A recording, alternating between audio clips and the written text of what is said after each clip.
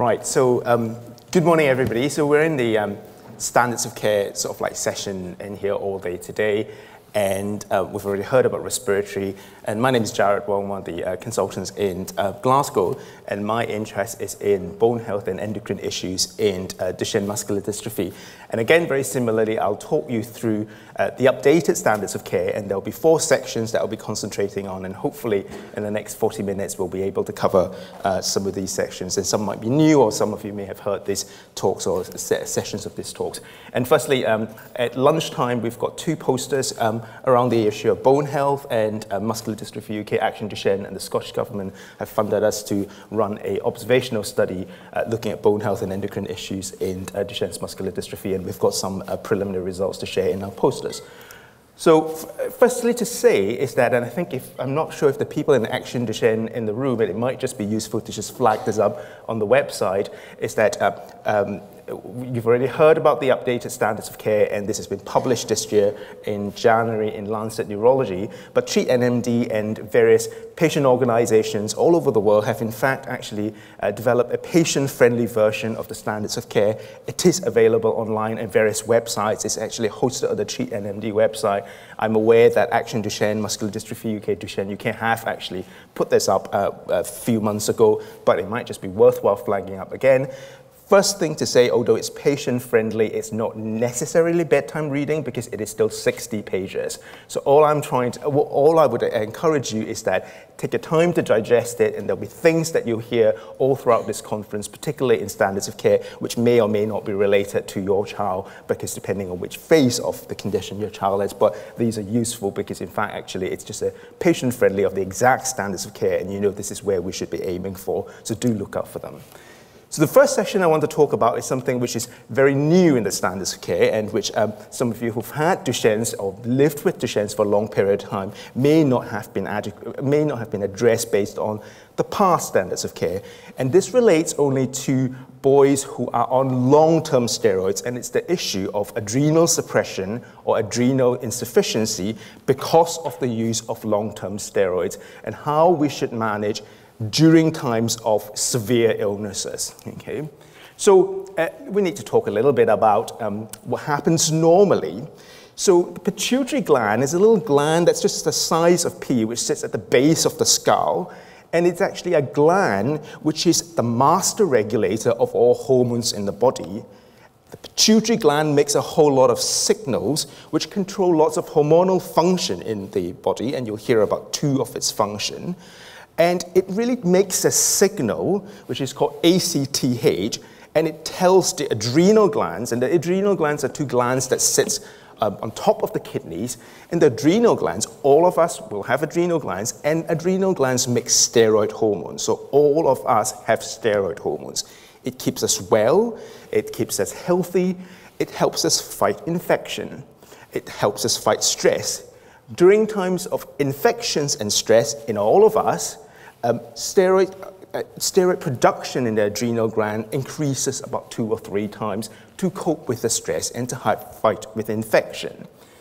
Now, what happens is that when your boys with Duchenne's are prescribed doses of prednisolone or deflazacort, the dose of steroid is much, much higher, sometimes in excess of what, of about 50 times higher than what our gland would produce. And what this happens is that the human body is fascinating and, and clever in a lot of ways because it then senses that there's a lot of steroids in the system. And because of this use of steroid and deflazacort for a long period of times, it tells the pituitary gland to actually switch off the signal that tells the adrenal glands to make steroids. This is absolutely fine when, you're, you're, when, when the boy with Duchenne or your son is not ill because you're taking lots of steroids, you've got lots of steroids on board. But it becomes an issue, or can become an issue, if your son has severe illness and is unable to tolerate oral steroids. And this is when the new standards of care recommends that we need to put some uh, some, some, some guide, guidelines of actions in place. And what happens is that if you've got a boy with Duchenne's or any condition for, for matter of fact who takes steroids, high doses of steroids for more than 6 to 12 months, because of that effect, it tells the pituitary gland to switch down the signal, and the adrenal glands become sleepy. And that's kind of what I explain to my families. You can hear the word adrenal insufficiency or adrenal suppression. And in those instances, if your child is very sick, particularly with vomiting illness and is unable to tolerate steroids, we need to look onto giving steroids in alternative forms. So there needs to be an emergency plan in place. And there's some information that we've developed in Scotland, which is available on the Scottish Muscle Network. And in the ideal situation, if your boy is very sick, we need to be able to inject steroids in the form of injectable forms prior to presenting to hospital, or at least at the point of presenting to hospital. But what's more important than the injectable steroids is that you need to make sure that there is an emergency plan in place. And generally, in most countries, all boys should carry a steroid card, which tells of this risk of adrenal suppression or in adrenal insufficiency. In the hospital, we need to make sure there is a system which flag this problem up. So when you come to A&E or you see a non-specialist, not one of us, that this problem is flagged up. And that's important because in serious vomiting illness, not mild illnesses, not mild flu or mild fever, and when your son is unable to tolerate oral steroids, or in some instances, if for your instance your son has appendicitis and needs to have an operation because that's a major stress, and the first two days after the operation can't eat anything, for instance, and can't take his oral steroids, uh, we then need to make sure that the steroids is given in another form and in those instances, most likely through a drip, as we probably will be giving your son some fluids at that time anyway. But what's also very important is that if there is a decision to stop steroids uh, after years of taking steroids, you need to consult carefully with your neuromuscular consultant because there needs to be a plan of slowly weaning off steroids and you can't just stop suddenly because the gland will be sleepy. Does that kind of make sense? Did you want me to go through anything again? There'll be questions after. So this is kind of relatively newly addressing the consensus, but this is something that perhaps that, that we all know about that was just wasn't as clear cut. So the main crux of this part of the standards of care is that if your son is sick and on steroids and unable to tolerate steroids, you need to know of an emergency plan of what to do. And it could just be as simple as presenting to hospital quickly and telling the emergency doctors. So that's adrenal suppression. Let's talk about growth issues, which is another endocrine problem that we commonly encounter in boys with Duchenne's muscular dystrophy. For reasons we don't quite understand yet, approximately 20 to 25% of boys with Duchenne's muscular dystrophy are already short, even quite early on, without the use of steroids. We are not clear why yet, and there's a lot of research that's being done. No doubt about it, we know that steroids were useful for the muscles and for the heart and for the lungs, as we've heard. There's lots of benefits of steroids. It no doubt has its side effects, and one of it is, in fact, actually further reduces growth or increases growth problems. And it's not infrequent that two, three, four years down the line after having steroids, particularly daily steroids, we see that a lot of these boys just do not grow at all and they become shorter and shorter, so to speak. So height monitoring is very important. It's essentially not a major issue if the, when the boy is ambulant because we can get standing height. Height is also very important because we need that to interpret weight in body mass index because height is part of the equation. We talk about also monitoring blood pressure and lung function, and all, and all these measurements need to be interpreted in the context of height. So you, measuring height is very important. But the new standards of care suggest that um, even during the ambulant phase, what we should do as clinicians is start measuring this thing called the ulnar length. It's the length of the, of the hand, which then can be put into an equation to help estimate the total height of the child. And this is something which I suppose facilitates measurement of height when the boy loses ambulation. There are some concerns because the um, uh, estimated height from ulnar length and standing height is probably not exactly the same, and I think the ulnar length measurement is probably higher, but at least it just means that we've got some height measurements. So if you start seeing that measured in clinic, that's sort of part of standards of care. But what can we do with short children or children who are not growing so well? And I know there's quite a lot of uh, discussions perhaps online, or some of you may have read about it, and some patients and boys may have tried it, is can growth hormone improve growth? And growth in short stature, it's at least a major problem for some boys with Duchenne's muscular dystrophy. So there's hardly any studies. There's really just one small study from America. Uh, it's not a clinical trial. It's certainly not recommended routinely in the new standards of care. Depending on where you live as well, um, uh, growth hormone prescription or growth hormone use can be very tightly regulated. In the UK, this is not a licensed indication, so the general practitioner could actually afford, uh, uh, have uh, all the right to not prescribe it. Um, but the feel is that in that one small study in boys with Duchenne's and other chronic conditions in childhood where children are treated with steroids is that if we could give growth hormone to these children, children may grow, but they will still remain very short. So growth rate improves marginally, but the boys still remain very short. So this is not generally used all the time. Growth hormone is given by injections and it needs to be daily injections and you need to give it faithfully for it to really work. There are also side effects and it's already shown in the uh, study in the boys with Duchenne's muscular dystrophy, including high blood sugar and diabetes, which necess necessitate treatment and also potentially raise pressure around the eye. So there are some side effects, and it's not something to actually just uh, uh, do routinely, It's certainly not recommended routinely in standards of care. Let's talk about puberty. And um, some of you uh, may already uh, uh, experience problems with uh, pubertal disorders or delayed puberty or absent puberty in adolescence. And this seems to be an issue, particularly with boys who are on daily steroids. Um, and steroids again has an effect on switching down the signal which the pituitary gland makes, which tells puberty to start. And whilst there's not a lot of uh, information yet, but certainly from our own research study, uh, the feel is that particularly boys who are on daily steroids will not go through puberty.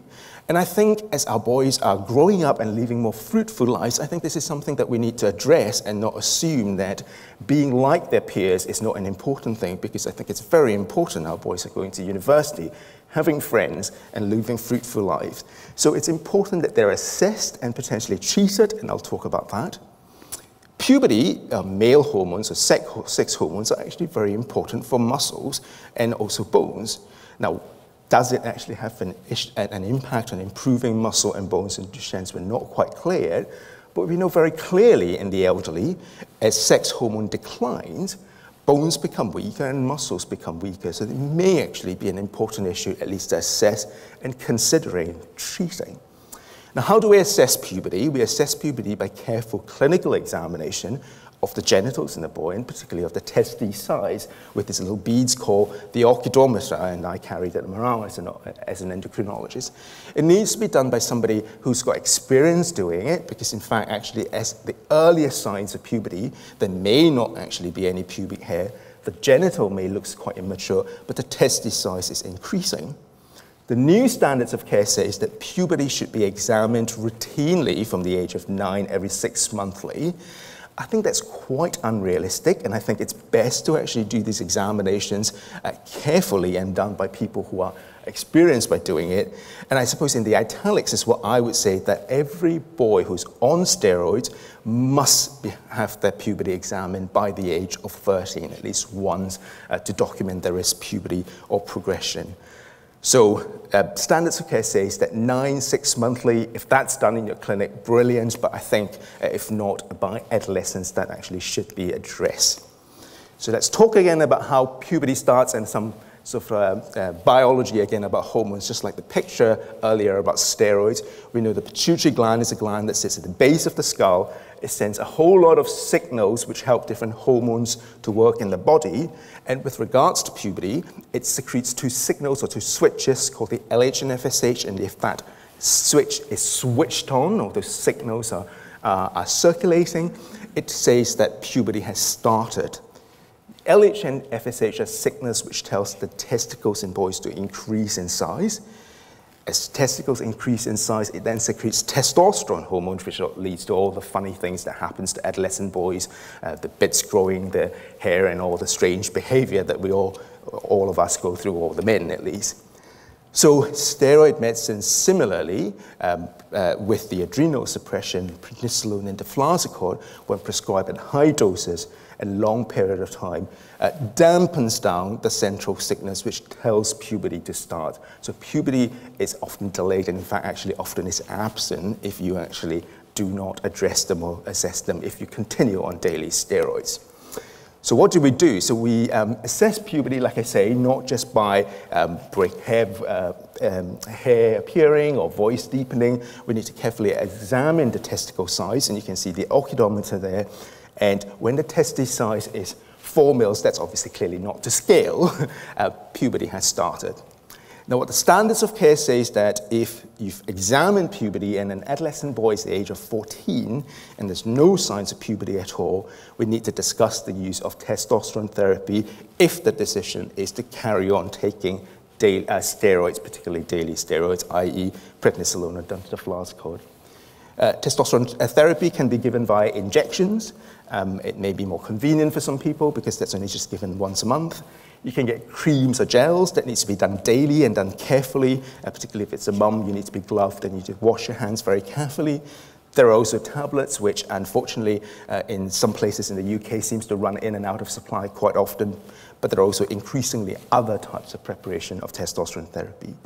The standards of care say that we can consider testosterone therapy if there's no, no puberty in an adolescent boy with Duchenne from the age of about 12. And generally, what tends to happen is that doses need to be gradually grow, uh, built up and increased to adult doses up to about three years period, just to mimic normal puberty. Now, I've talked about how the switch needs to switch on for, uh, for puberty to start and, tes and testicles needs to increase in size. Now, occasionally, of course, during the point of between 14 to 18, there might be a decision, for instance, to either reduce doses of steroids or actually uh, stop steroids, and that might actually um, uh, uh get, allow puberty to waken up by itself.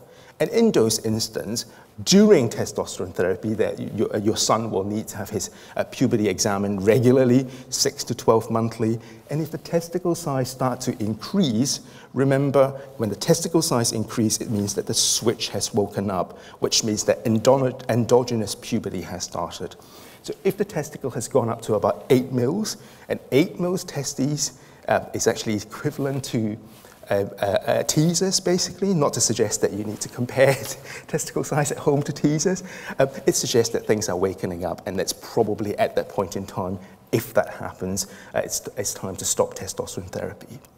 But now we've got a new generation of men um, with Duchenne muscular dystrophy as well, who are now continuing steroids indefinitely, and we don't actually have that many of those men yet. Now, if the idea is that steroid therapy dampened the switch for puberty and hormones, it's possible that some of our men who stay on daily steroid therapy may have low testosterone level. And there really is absolutely no information, although a prospective study of puberty and testosterone treatment in Newcastle may give us some information over the next couple of years. Is that something to just think about?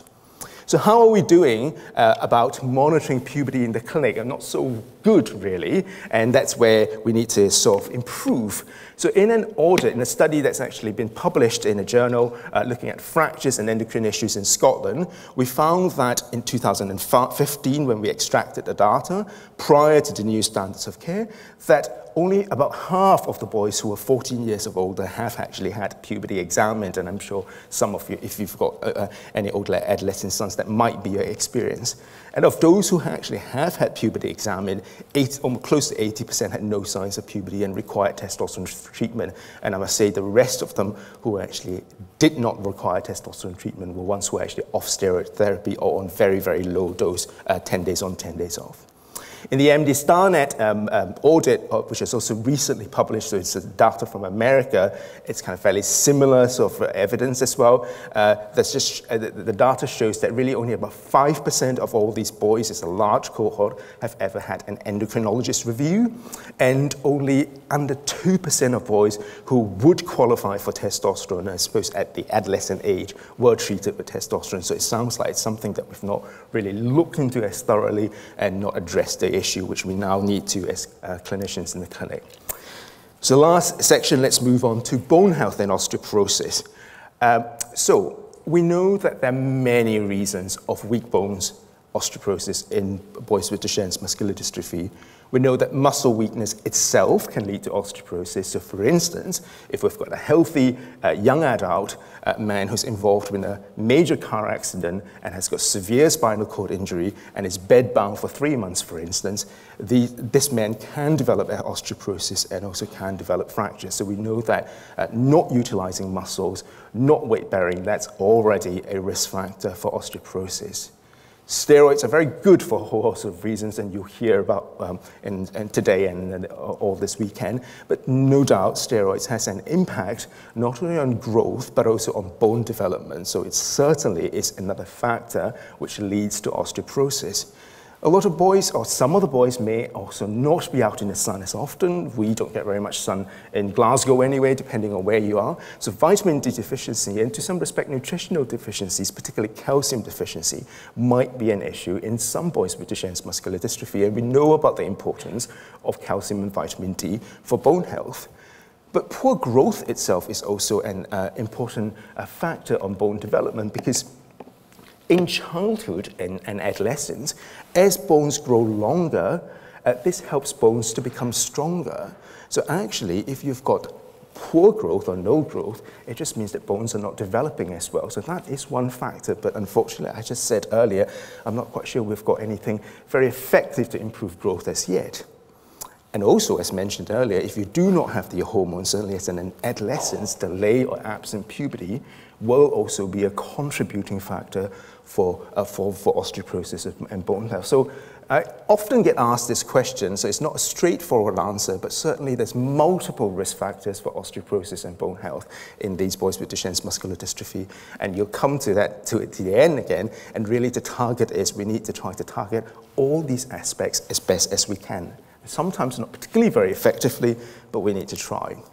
Uh, so, uh, uh, thanks to Action Duchenne Muscular Dystrophy UK and the Scottish Government, uh, some of our work will be a couple of posters, at, and you can come and talk to me at lunchtime. We certainly know from invasive tests like bone biopsies in steroid treated children, including Duchenne's muscular dystrophy, that these boys have osteoporosis because the bones are just smaller and also thinner. So on figure one, you can see to the left there is a boy, um, which is the cross-sectional area of the thigh, and you can see that um, the bones are just, so these are, I can walk here, I think you can see that these are the bones, okay? You can see that the boy with Duchenne has got a smaller and also thinner bone, and that's in the uh, hard part of the bone, what we call the cortical bone, but in the spongy bone, you can also see on these MRI pictures the information that we previously could only uh, in, uh, acquire from bone biopsies, for instance, that in fact the quality of the bone is not particularly very good. So there are certainly uh, uh um, at a, a uh, and an imaging level and also at a microscopic level from bone biopsies, the bones are not as healthy. And fractures are very common. In our experience in the Scottish cohort, and there's been numerous other studies which have been published, that at least about 50% of boys with Duchenne's will have a fracture. And in some clinics and some cohorts, it's at as high as 75%. And fractures also can occur before steroids. So osteoporosis, because of underlying muscle weakness, is already probably present to some degree prior to use of steroids. But the studies of fractures in boys with Duchenne's muscular dystrophy, or the frequency of it, is probably still grossly underestimated. And come to talk to me at lunchtime, and I'll show you uh, some data on why we think so. So the new standards of care focuses a lot more on vertebral fractures or compression fracture of the backbones, which are in fact actually extremely common, we think, uh, and often missed if we rely on presentation with severe back pain, and certainly in the past standard of care, routine imaging of the backbones and x-ray of the back or the lateral thoracolumbar spine x-ray was not part of the care consensus. And if we just uh, um, depend on the boy to tell us that they've got back pain, we think is actually underestimated and, um, and, and results from our poster will show it. So, but if there's presence of compression fracture of the back, this tells us that it signifies that the bones are weak, there is osteoporosis because you could still fall, whether you've got Duchenne's or whether you've not got Duchenne's or any one of us, if you've got significant injury, for instance, of the long bones. But compression fracture of the spine is something that we see when there's osteoporosis. Uh, up till recently, with children with steroid treated osteoporosis, we really only see it in people either with brittle bone disease or in elderly people with postmenopausal osteoporosis. So, what does the new standards of care say? The new standards of care says now that baseline prior to starting steroids, or if your son is on steroids, at least one to two yearly, these x-rays need to be done routinely, okay? And it's from the side, it's what we call the lateral x-ray. X-rays for scoliosis, if your son's having it, often, it's usually from the front. It won't actually detect, nor may not necessarily detect vertebral fractures, so it needs to be from a different view. The standards of care suggest that if your son is not on steroids or stopped steroids, for instance, these x-rays should still be done every two to three yearly. Vitamin D levels should be um, assessed in blood tests at baseline and then annually. And I must say that uh, depending on where you live, I think um, generally, although it doesn't quite uh, recommend it, but in our clinic, every boy with Duchenne is on uh, vitamin D supplementation, and in fact, the levels are still sometimes low. The previous standards of care and what you may be used to is um, of, of, monitoring bone is using a DEXA scan or the bone density scan, which you may be familiar with. It still recommends that this needs to be done at baseline and then annually, but it also tells you that you need to prioritize a spine x-ray above a DEXA scan and I'm aware that uh, there are some people who are not from the UK. In the UK, we're very fortunate in a lot of respects because, um, you know, if a test is needed, if your doctor asks for it, that gets done. But in some countries, for instance, insurance and payment is an issue. And if that's the case, uh, we would say that you need to prioritize the spine x-ray above the DEXA scan. Uh, why is that a move away from uh, focusing so much on DEXA scan. So DEXA scan, for those of us who might be familiar with osteoporosis in elderly people or postmenopausal osteoporosis, is that the DEXA result in elderly people is very useful because it seems to predict fractures. It tells us that if you've got a DEXA level of bone density of a particular level, uh, you've got X percentage of chances of developing fractures. And if it's much lower, the percentage of developing fracture is even higher. But in children, while it gives us an idea of bone density, it doesn't actually give us a fracture prediction. The threshold is not particularly very good. But we know that if vertebral fracture is already present, the bones are very weak. So you should not actually start bone protective therapy, and here I'm talking about bisphosphonate, which I'll go into in the next section, just based on a bone density scan result.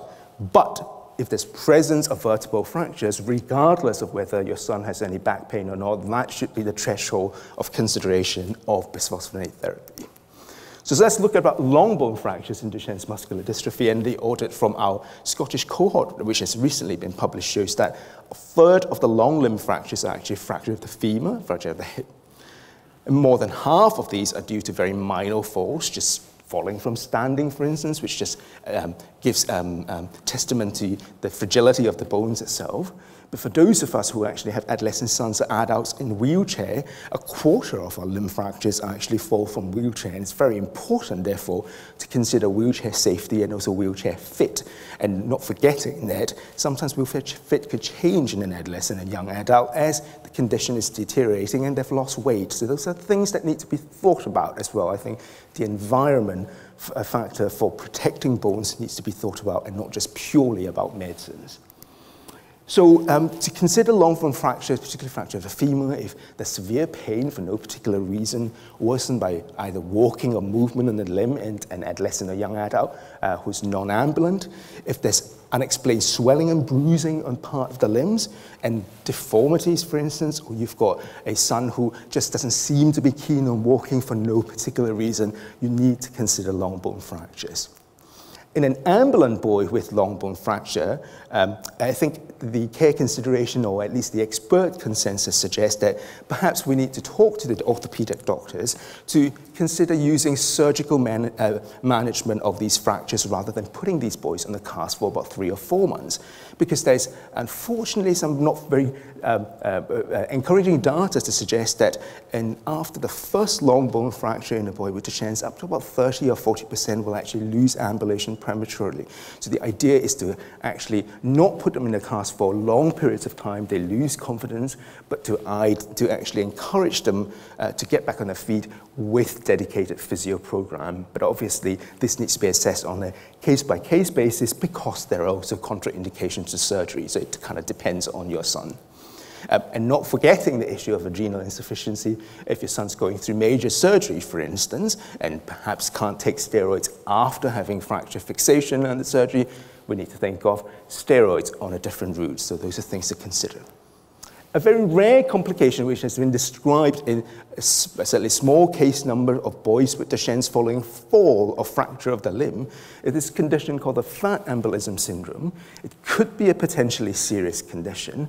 It is as a result of fat particles from the bone or the bone marrow itself, which then circulates into the circulation, and it can lead to major breathing difficulties or change in behavior of quite sleepy after a fall. And I must say it's a bit difficult because the thing is, breathing difficulty, some boys may actually have some issues with breathing because they're actually in a lot of pain, for instance, or if you're in the hospital, the saturation uh, level may drop slightly because a young boy is in pain, and change in behavior, well, some boys might need stronger pain medicines, and that could cause them to be a little bit sleepy, but it's certainly to be, bear that in mind, actually, and to, uh, and to let the uh, doc treating doctors know, because there might be something they're not quite clear of.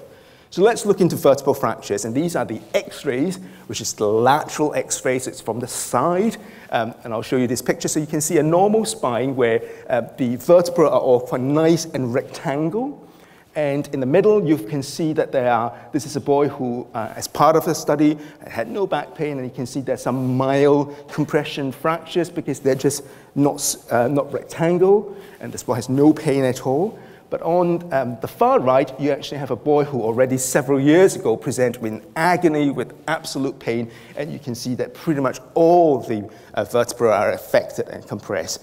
Uh, but as we sort of said earlier, with this new standards of care, it's anticipatory, it's actually identifying problems early, and which is what we hope uh, will occur with these new standards of care. Now, I'm also aware that um, there are now new generation DEXAs. We certainly have a bone density scan, which we have in our hospital in some of the centers in the UK, which gives high enough resolution, not just to measure the bone density, but it's also just as good as an X-ray to look at the backbone.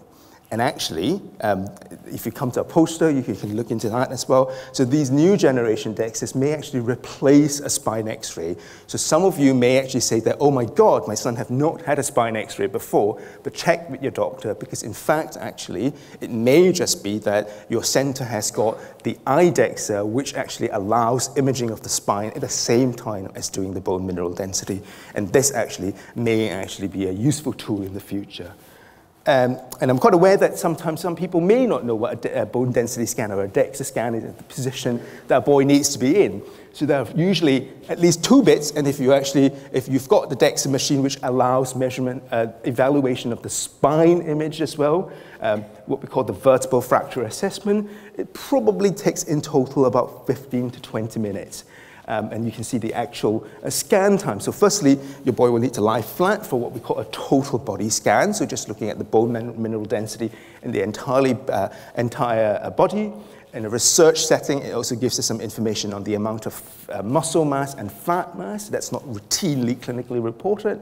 And then your son needs to be in that sort of a position to look at the bone mineral density at the backbones and to acquire those images on the on vertebral fracture, um, what we call the vertebral fracture assessment, your son then needs to lie on the side, and that's called a vertebral fracture assessment. So if you don't, if you've not done that, it probably means that your DEXA machine can't assess vertebral fractures, and you will need a spine X-ray.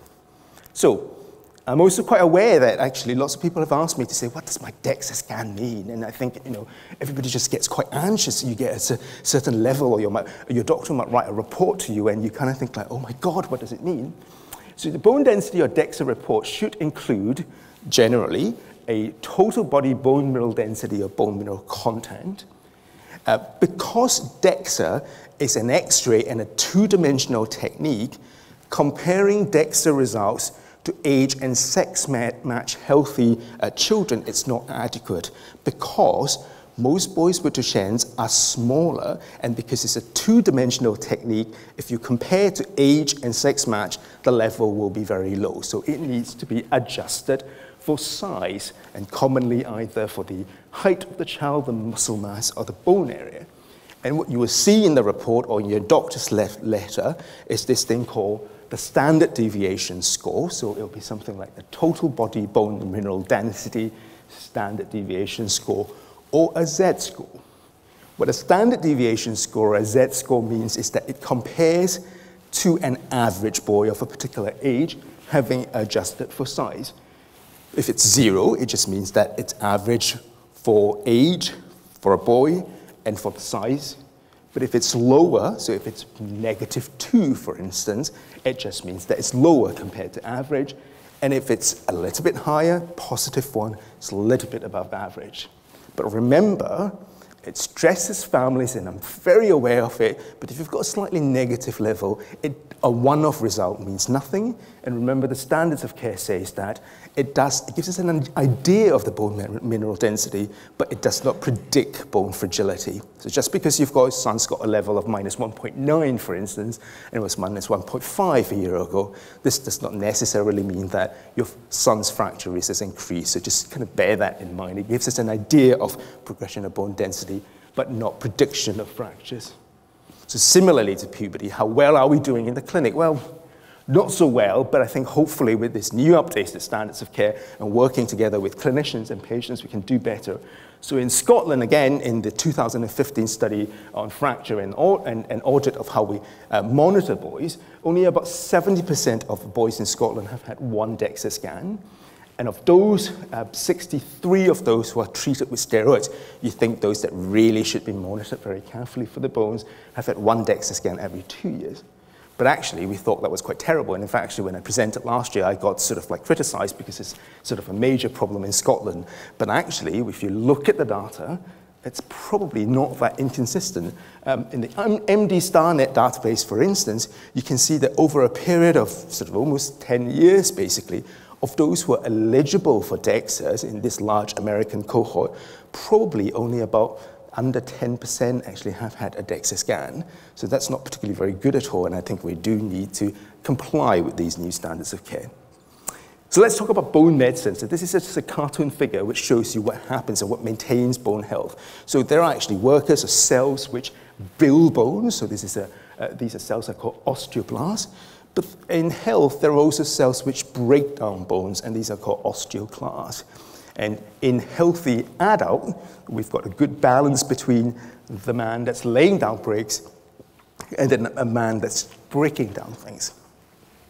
In childhood, on the other hand, because children are building bones, the worker that's laying down bones, i.e., the osteoblast, are in fact actually working harder.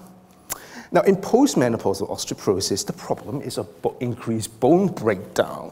So the osteoclasts are active and working much harder. In boys with Duchenne's, it's probably the main bone problem is in fact actually we're not laying down bones well enough. And this has got some implications with therapy because a lot more of you would have heard of bisphosphonate therapy. But what bisphosphonate therapy does is that it in fact actually reduces bone breakdown. So at the moment we don't have a very effective drug and there's none available in children as yet at the moment to build new bones. And that's really what we need in boys with Duchenne's. So bisphosphonate therapy addressed in the standards of care, and just to talk through it, and like I say, it improves bone by reducing the amount of bone breakdown. It's very useful, effective in postmenopausal uh, osteoporosis because that's the problem, okay? So we're targeting the problem. In steroid-treated boys like Duchenne's, we think that the problem is mainly due to the fact that bones are not built as well. Bisphosphonate therapy can be given as tablets, It does have some side effects of indigestion. You need to sit up for at least uh, 15 to 20 minutes and ideally taken with milk. And I am aware that some people may be on oral bisphosphonates. But the standards of care actually give some evidence to say that while oral bisphosphonates are probably not particularly very effective because it, it's not, um, the, the bioavailability of oral bisphosphonate in growing children is very low. So what gets to the circulation, the system, is probably not very high. So the standards of care actually suggest that not to use oral bisphosphonate, although I know that sometimes in some instances we've got to consider that. And what the standards of care suggest is that when we do need to use bisphosphonate, we should need to use the IV, the intravenous form, which some of you might uh, already be familiar with, called either pamidronate or zoledronate, and they're much more potent. They need to be given into a drip, and of course some boys don't like drips at all and can be quite challenging. At least in the first infusion and sometimes in subsequent infusion, there can be side effects of fever, nausea, almost like a flu-like reaction. Okay, so that's just to think about. And um, there really is no good published evidence on how effective bisphosphonates are in Duchenne's, but the field, based on the very small amount of studies and our clinical experience, is that it probably increases bone mineral density. It is unclear if it prevents fracture, but it's very good for bone pain. There's no evidence for the use of preventative use of bisphosphonate. And really, who should get bisphosphonate? Really, if you've got painful vertebral fractures, if there's moderate a, a asymptomatic vertebral fractures, and potentially if they are the long limb fractures. And really, there's no good evidence to suggest preventative use of bisphosphonate. We ran a workshop in Europe a couple of months ago to talk about how we develop clinical trials for boys with Duchenne's. And the questions we actually need to consider is that how can we prevent that first fracture? And there needs to be clinical trials, but they're very challenging trials. Are there better medicines to use to treat osteoporosis with less side effects and potentially? And how can we treat osteoporosis in adults with Duchenne's? And those are the questions we need to address. So, summary good nutrition, particularly good calcium intake, vitamin D supplementations, especially vitamin D monitoring, to encourage weight bearing activity, not stop your boys from doing activity, from doing ambulant status, treat delayed and absent puberty, and bisphosphonate therapy if there's evidence of fractures, especially vertebral fractures. So this is, I think, my last slide. And really, the summary evidence is that we've talked about adrenal suppression, growth issues, puberty, and bone, and those are the summary of what I've actually addressed. But I also want to end with this stage where you come to these conferences and you hear of all these complications and things that can occur in your son. But really, the new standards of care is a proactive approach it is to ensure that all boys have a rich and, rich and fruitful life, and it's really to identify health issues at the earliest possible stage to allow intervention. And I think there's a lot of positive and good news for boys and young men with Duchenne's, and I think we need to live with, uh, uh, leave such talks with that rather than think of all the, all the uh, negative things that can happen. I just want to thank all the neuromuscular team and all the people who've supported us, and I think there are probably a couple of minutes for questions. So thank you very much for your time.